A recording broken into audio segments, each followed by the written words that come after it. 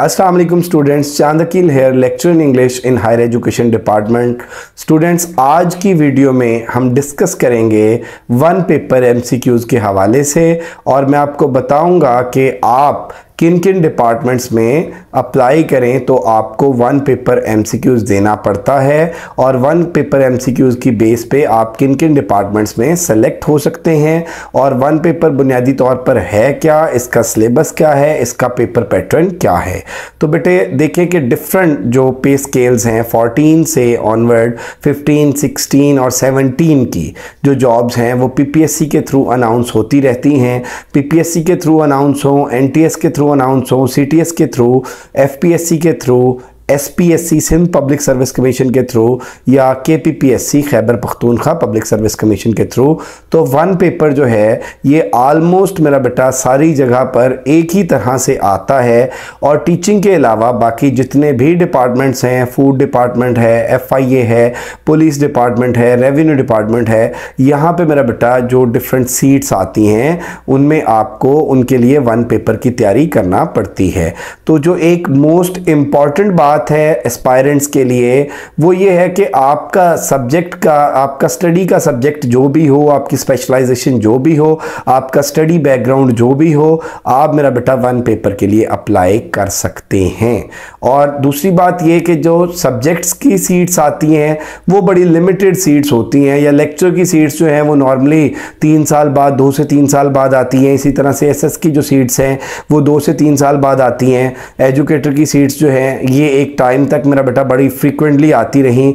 लेकिन उसके बाद 2018 के बाद से इनकी कोई सीट्स एज सच कोई सीट अनाउंस नहीं हुई। तो डिफरेंट डिपार्टमेंट्स में मेरा बेटा वन पेपर के हवाले से सीट्स अनाउंस होती रहती हैं। और आपको मैं ये रिकमेंड करूँगा मेरा बेटा कि आप संडे का जंग ज़रूर पढ़ा करें। उसमें ऐड आता है मेजोरिटी वन पेपर के हवाले से। तो वो स्टूडेंट्स जिनकी 14 ईयर्स ऑफ़ एजुकेशन है बीए बीएससी जिसका नया नाम एडीपी साइंस और एडीपी आर्ट्स है, और वो स्टूडेंट्स मेरा बेटा जिनका 16 इयर्स ऑफ़ एजुकेशन है बीएस ऑनर्स या एमएससी उनका कोई भी सब्जेक्ट है, वो वन पेपर के लिए अप्लाई कर सकते हैं, वो हर डिपार्टमेंट में अप्लाई मेरा बेटा कर सकते हैं, और उसमें जो उनका सिलेबस होगा, जो पेपर पैटर्न होगा, वो मैं आप लोगों के साथ डिस्कस करता हूँ। तो उसमें मेरा बेटा देखें कि कोई भी वन पेपर है, चाहे वो एफपीएससी का है, चाहे वो के का है, चाहे वो वो एसपीएससी का है या पीपीएससी का है या इसके अलावा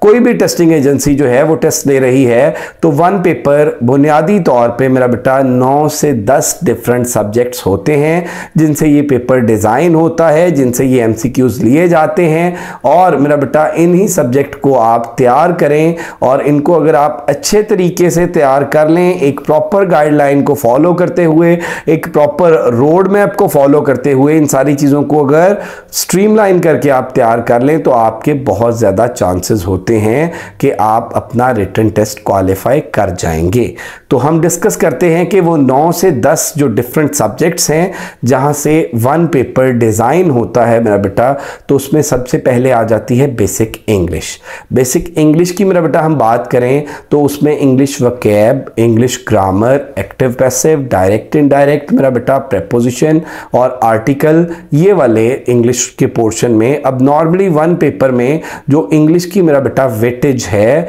वो 20 परसेंट होती है मिनिमम 20 परसेंट होती है मैक्सिमम 30 परसेंट होती है, लेकिन ये डिपेंड करता है मेरा बेटा डिपार्टमेंट टू डिपार्टमेंट वेरी करता है तो वन पेपर में जो आपको इंग्लिश तैयार करनी है, वो मेरा बेटा ट्वेंटी टू थर्टी मार्क्स को जहन में रख के आपने इंग्लिश ग्रामर तैयार करनी है। और उसके बाद मेरा बेटा सेकंड सब्जेक्ट की अगर हम बात कर लें तो जनरल नॉलेज जनरल नॉलेज आप तैयार करेंगे थर्ड करंट अफेयर तैयार करेंगे फोर्थ मेरा बेटा आप पाक अफेयर्स तैयार करेंगे फिफ्थ आप एवरीडे साइंस तैयार करेंगे सिक्स मेरा बेटा आप बेसिक कंप्यूटर तैयार करेंगे सेवन्थ आप बेसिक मैथमेटिक्स तैयार करेंगे एट्थ आप बेसिक इस्लामिक स्टडीज़ तैयार करेंगे नाइन्थ मेरा बेटा आप बेसिक उर्दू तैयार करेंगे और देन मेरा बेटा आप बेसिक जियोग्राफी तैयार करेंगे। ये दस सब्जेक्ट मेरा बेटा अगर मिला के आप लोग तैयार करते हैं तो आप लोग और इन चीज़ों को मटेरियल देखिए कि मटेरियल मतलब आपको डिफरेंट जगह से मिल जाता है और बेतहाशा मटेरियल मिल जाता है। असल चीज़ मेरा बेटा ये है कि मटेरियल अथेंटिक होना चाहिए और दूसरी बात मेरा बेटा ये कि उसको आप स्ट्रीमलाइन करके चीज़ों को तैयार करें। तो अब इसमें बुनियादी तौर पे क्या होता है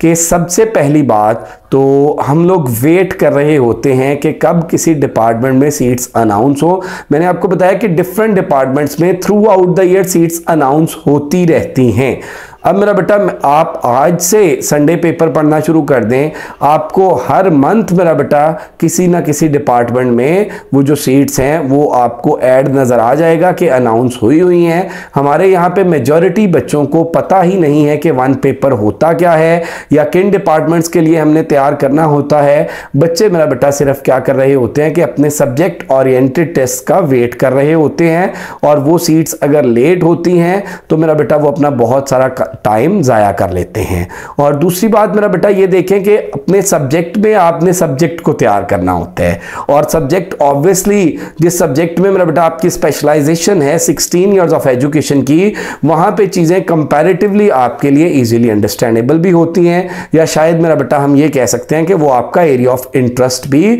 होता है दैट्स वाई आप उसको तैयार कर लेते हैं। वो शॉर्ट स्पैन में भी आप अगर कोशिश करते हैं तो आपका बेहतर तैयार हो जाता है, लेकिन उसके लिए भी स्ट्रेटजी यही होनी चाहिए कि आप अपने सब्जेक्ट को थ्रू आउट द ईयर पढ़ें। और मेरा बेटा, जब हम वन पेपर की बात करते हैं तो मैंने आपको बताया कि आपने टेन डिफरेंट सब्जेक्ट्स को तैयार करना है। और जब आपने टेन डिफरेंट सब्जेक्ट्स को तैयार करना है मेरा बेटा, और आप तैयारी शुरू करते हैं एड आने के बाद, मैंने अपनी पिछली वीडियोज़ में बताया कि एड आने के बाद मेरा बेटा फिफ्टीन टू ट्वेंटी डेज़ होते हैं। हैं क्लोजिंग डेट आपका अप्लाई करने के लिए और मेरा बेटा उसके बाद 22 टू 25 डेज़ में थ्री टू फोर वीक्स में राधा वी कैन से कि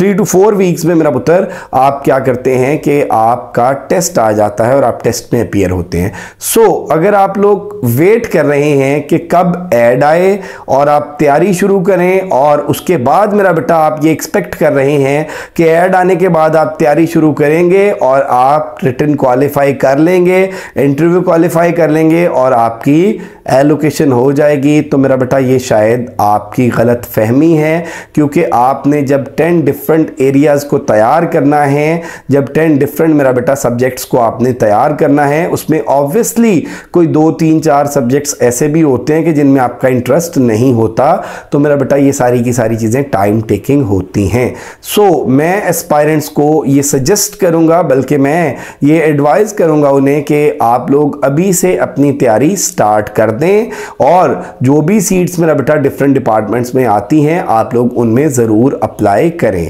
अब मेरा बेटा, तैयारी के हवाले से मैं आपको बताता चलूँ कि एम के प्रप्रेशन के प्लेटफॉर्म से अल्हम्दुलिल्लाह पिछले छः साल से हम तैयारी करा रहे हैं वन पेपर की डिफरेंट सब्जेक्ट्स में लेक्चर की और उसके अलावा सब्जेक्ट स्पेशलिस्ट की तैयारी करा रहे हैं। तो मेरा बेटा, हम इस तरह से अपने बैचेस को चलाते हैं और इस मेथड से तैयारी कराते हैं कि स्टूडेंट्स को हर चीज़ जो है वो क्लियर हो जाए। तो अगर आप लोग भी मेरा बेटा तैयारी करना चाहते हैं, हमारे प्लेटफॉर्म को ज्वाइन करना चाहते हैं तो एम के प्रिपरेशन के नाम से हमारा यूट्यूब चैनल मौजूद है। इसी नाम से हमारा फेसबुक पेज मौजूद है। आप लोग अपनी रजिस्ट्रेशन कराने से पहले अपनी सेटिस्फेक्शन के लिए हमारे चैनल्स पे मेरा बेटा उन तमाम स्टूडेंट स्टूडेंट्स के रिव्यूज़ देख सकते हैं, जो अल्हम्दुलिल्लाह इस प्लेटफॉर्म से तैयारी करके डिफरेंट जॉब्स में डिफरेंट डिपार्टमेंट्स में सेलेक्ट हुए हैं। आप मेरा बेटा हमारे फेसबुक पेज पर भी बच्चों का फीडबैक देख सकते हैं,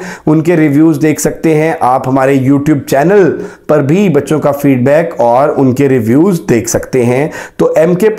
के नाम से हमारा चैनल है, इसी नाम से हमारा मेरा बेटा फेसबुक पेज है। अगर आप लोग अपनी रजिस्ट्रेशन कराना चाहते हैं तो मैं आपको बताता चलूँ कि हम वन पेपर एमसीक्यूज का जो सेशन है, वो स्टार्ट करने जा रहे हैं और हमारा जो टाइम होता है, वो मेरा बेटा 7 पीएम टू 10 पीएम और 7 पीएम पे हम टेस्ट शेयर करते हैं 8 पीएम पे हम उसकी की शेयर करते हैं और 8 पीएम पे हमारे तमाम सब्जेक्ट्स के जो रेलिवेंट टीचर्स हैं, वो ऑनलाइन आ जाते हैं और वो डिस्कशन कराते हैं, वो ऑनलाइन आ जाते हैं और डिस्कशन कराते हैं। तो मेरा बेटा रजिस्ट्रेशन का जो मेथड है अगर आप लोग हमारे चैनल को ज्वाइन करना चाहते हैं, हमारे सेशन को ज्वाइन करना चाहते हैं, हमारे बैच का पार्ट बनना चाहते हैं तो रजिस्ट्रेशन का मैं आपको मेथड बताता चलूँ। लेकिन वो बताने से पहले मैं आपको ये बता दूँ कि हमारा ये जो प्रिपरेशन का मेरा बेटा सेशन है, इसका ड्यूरेशन थ्री मंथ्स होता है और थ्री मंथ्स के हमारे जो चार्जेस हैं, वो फुल सेशन के फाइव थाउज़ेंड हैं। फिर बता दूँ कि मेरा बेटा 5000 पर मंथ नहीं है, बल्कि 5000